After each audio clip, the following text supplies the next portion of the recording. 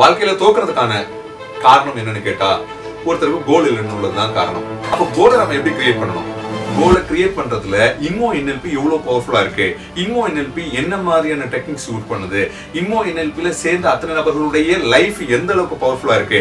இன்மோ NLP use பண்றதுனால கோல் எவ்வளவு sharper ஆகுது பிரைட்டர் ஆகுது ஆக்குரேட் ஆகுது நிஜத்துல நடக்க போகுது என்கின்றது இம்மோ என்எல்பியினுடைய ப்ரோக்ராம் அட்டன் பண்ணனால மட்டும்தான் உங்களுக்கு அது கிடைக்கும். அது சீக்ரெட் இல்ல அது ஒரு ப்ராசஸ் அது ஒரு ப்ராசஸ் மட்டுமல்ல அது ஒரு பிராக்டிஸ் இந்த பிராக்டிஸை நீங்க எடுத்துக்கணும்னா இன்மோ என்எல்பியினுடைய ப்ரோக்ராம்ல நீங்க அட்டன் பண்ணும்போது இந்த ஒவ்வொரு நாளும் உங்களுடைய வாழ்க்கையில இன்மோ என்எல்பியினுடைய கோலை எப்படி ஒரு அவுட்கம்மா கொண்டு வர்றதுக்கு ஒர்க் பண்றோம் என்கின்ற ஒரு ஃபைவ் ஸ்டெப்ஸ் சீக்ரெட்ஸ் இருக்கு. இந்த ஃபைவ் ஸ்டெப்ஸ் சீக்ரெட்ஸை நீங்க ஃபாலோ பண்ணும்போது அதை அப்ளை பண்ணும்போது உங்களுடைய கோலும் ரியாலிட்டியில வந்து மாறும். இதுக்கு பேர் தான் மிராக்கள் மிராக்கள் தானா உருவாக்குறதுல உருவாக்குறதுக்காக நாம பண்ணக்கூடிய விஷயங்கள் தான்.